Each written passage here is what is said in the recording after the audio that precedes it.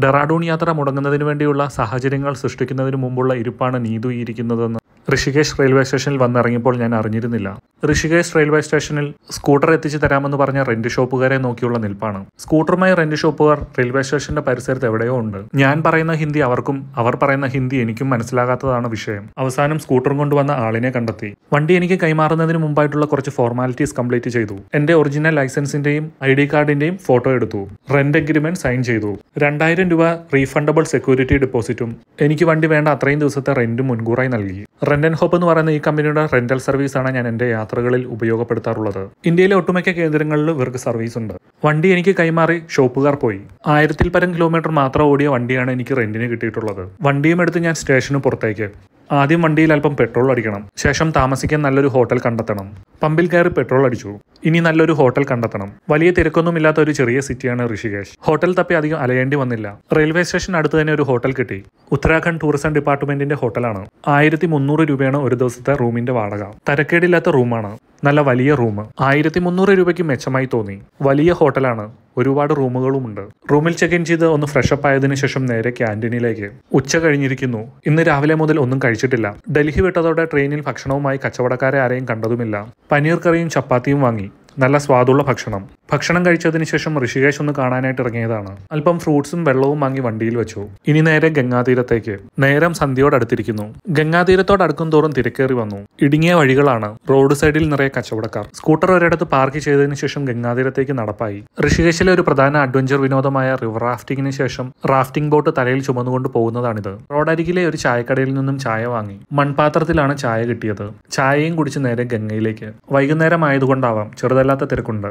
ഗംഗയിലെ റാഫ്റ്റിംഗും കഴിഞ്ഞ് വന്നവരാണ്. ഉരുളം കല്ലുകൾ നിറഞ്ഞ തീരമാണ് ഗംഗയുടേത്. ഗംഗയിൽ ഇറങ്ങിയും ഉരുളങ്കല്ലുകൾ പിറക്കിയും സമയം പോയത് അറിഞ്ഞില്ല. നേരം സന്ധ്യ ആയപ്പോഴേക്കും ഗംഗാരതി ആരംഭിച്ചു. ഗംഗാരതി തുടങ്ങിയോടെ ആൾക്കാരെല്ലാം ഒരുമിച്ചു കൂടി. ഗംഗയിൽ ദീപങ്ങൾ ഒഴുക്കി. ശേഷം ഹോട്ടലിലേക്ക് മടക്കമായി. ഗംഗാതീരത്തേക്കുള്ള വഴികളുടെ സൈഡുകളിലെല്ലാം നിരവധി കടകളുണ്ട്. മിക്ക കടകളിലും നീതു കയറി ഇറങ്ങുന്നുണ്ട്. എന്തൊക്കെയോ വാങ്ങുന്നുമുണ്ട്. എന്നാൽ ഇത് വെറും തുടക്കം മാത്രമായിരുന്നു എന്ന് ഞാൻ അപ്പോൾ അറിഞ്ഞിരുന്നില്ല. വഴിയരികിലെ റെസ്റ്റോറന്റിൽ നിന്നും ഡിന്നർ വാങ്ങി നേരെ ഹോട്ടലിലേക്ക്. അടുത്ത ദിവസം രാവിലെ ഋഷികേശിൽ നിന്നും ഡെറാഡൂണിലേക്ക് പോകുന്നതിന് മുമ്പ് ബ്രേക്ക്ഫാസ്റ്റ് കഴിക്കാനുള്ള ഇരിപ്പാണ്. ബ്രേക്ക്ഫാസ്റ്റ് എത്തി. ആലു മട്ടറും ചപ്പാത്തിയുമാണ് ഓർഡർ നൽകിയത്. വെജിറ്റേറിയൻ ഭക്ഷണമാണെങ്കിലും രണ്ടുപേരുടെ ഒരു നേരത്തെ ഭക്ഷണത്തിന് പത്തു നാനൂറ് രൂപ വരുന്നുണ്ട്. ബ്രേക്ക്ഫാസ്റ്റ് കഴിച്ചു. ഇനി നേരെ ഡെറാഡൂണിലേക്ക്. ഹോട്ടൽ റൂം ഇടുന്നില്ല കാരണം ഋഷികേശിൽ നിന്നും ഡെറാഡൂണിലേക്ക് നാൽപ്പത്തിയാറ് കിലോമീറ്റർ മാത്രമാണ് ദൂരം. ഒരു ദിവസം കൊണ്ട് പോയി വരാവുന്ന ദൂരം. ഇന്ന് പകൽ ഡെറാഡൂണിലെ കാഴ്ചകൾ കണ്ടതിന് ശേഷം തിരിച്ച് ഋഷികേശിൽ തന്നെ വരാമെന്നാണ് തീരുമാനിച്ചിട്ടുള്ളത്. ആദ്യം പോയത് ഋഷികേശിലെ ബസ് സ്റ്റേഷനിലേക്കാണ്. ഡൽഹിയിൽ നിന്നാണ് നാട്ടിലേക്കുള്ള ഫ്ലൈറ്റ് ബുക്ക് ചെയ്തിട്ടുള്ളത്. ഋഷികേശിൽ നിന്നും ഡൽഹിയിലേക്ക് ബസ് സർവീസ് ഉണ്ടോ എന്നറിയണം. ഉണ്ടെങ്കിൽ നേരത്തെ തന്നെ ടിക്കറ്റ് ബുക്ക് ചെയ്ത് വയ്ക്കാനാണ്. ഋഷികേശിൽ നിന്നും ബസ് സർവീസ് ഡൽഹിയിലേക്കുണ്ട്. ഓൺലൈൻ ആപ്ലിക്കേഷൻ വഴി ടിക്കറ്റ് നിരക്കുകളൊക്കെ ഇന്നലെ തന്നെ ഞാൻ നോക്കി വെച്ചിരുന്നു. ഓൺലൈനിൽ ടിക്കറ്റ് ബുക്ക് ചെയ്യുന്നതിന്റെ ഇരട്ടിയോളം നിരക്ക് വരുന്നുണ്ട്. ബസ് സ്റ്റാൻഡിൽ നിന്നും ടിക്കറ്റ് ബുക്ക് ചെയ്യാൻ. ആയതിനാൽ ഓൺലൈനിൽ തന്നെ ടിക്കറ്റ് ബുക്ക് ചെയ്യാൻ തീരുമാനിച്ചു. ഇപ്പൊ പുറപ്പെട്ടാൽ ഡെറാഡൂണിൽ ഏകദേശം ഒന്നര മണിക്കൂർ കൊണ്ട് എത്താൻ സാധിക്കും. മനോഹരമായ റോഡാണ് ഋഷികേശിൽ നിന്നും ഡെറാഡൂണിലേക്കുള്ളത്. ഇടയ്ക്ക് അല്പദൂരം വനത്തിലൂടെയാണ് യാത്ര. ഡെറാഡൂൺ അടുക്കാറായപ്പോഴേക്കും കാലാവസ്ഥ ചെറുതായി മാറി തുടങ്ങി ശക്തമായ തണുത്ത കാറ്റ് വീശാൻ തുടങ്ങി. എനിക്ക് തൊണ്ടയ്ക്ക് ചെറിയ പ്രയാസവും. ഏതെങ്കിലും തുണിക്കടയിൽ കയറി ഒരു മഫ്ലർ വാങ്ങാൻ തീരുമാനിച്ചു. വഴിയരികിൽ കണ്ട ഒരു കടയിൽ വണ്ടി നിർത്തി. എന്നാൽ ആ തീരുമാനം വലിയൊരു തെറ്റായിരുന്നു എന്ന് പിന്നീട് എനിക്ക് മനസ്സിലായി. കാരണം കടയിൽ ഓഫർ നടക്കുന്നു. എല്ലാത്തിനും വലിയ വിലക്കുറവാണ്. നീതു വിടുന്ന ലക്ഷണമില്ല. കടയിലൂടെ തലങ്ങും വിലങ്ങും ഓട്ടമായി കയ്യിൽ കിട്ടിയതെല്ലാം വാരിയെടുത്തു. ഇതെല്ലാം എങ്ങനെ നാട്ടിൽ കൊണ്ടുപോകുമെന്ന് പലവട്ടം ഞാൻ ചോദിച്ചു. നീതുവിന് ഒരു കൂസലുമില്ല. ആലോചിച്ചപ്പോൾ ശരിയാണ്. എല്ലാത്തിനും വളരെ വിലക്കുറവാണ്. ടീഷർട്ടിനൊക്കെ നൂറും ഇരുന്നൂറും രൂപയ്ക്കേ വിലയുള്ളൂ. അതും നല്ല ക്വാളിറ്റി ഉള്ളത്. മണിക്കൂറുകൾ നീണ്ടുനിന്ന ഷോപ്പിങ്ങിന് ശേഷം ബിൽ ചെയ്ത് പുറത്തിറങ്ങി. ബില്ലിന്റെ നീളം പോലെ അത്ര വലിയ തുകയൊന്നും ആയിരുന്നില്ല വന്നിരുന്നത്. എല്ലാം നൂറും ഇരുന്നൂറും രൂപയുടെ തുണിത്തരങ്ങൾ. ഇനി ഇതുകൊണ്ട് എങ്ങനെ ഡെറാഡൂൺ പോകുമെന്നായി. അവസാനം ആ തീരുമാനത്തിലെത്തി. ഇന്ന് ഡെറാഡൂൺ പോകണ്ട. നേരെ ഹോട്ടലിലേക്ക്. ഹോട്ടലിൽ ചെന്ന് വാങ്ങിയ സാധനങ്ങളെല്ലാം പാഴ്സൽ ചെയ്ത് അയക്കാമെന്ന് തീരുമാനിച്ചു. ഹോട്ടലിലേക്കുള്ള മടക്കത്തിൽ നല്ല സ്ട്രോബെറി വിൽക്കുന്നത് കണ്ടു.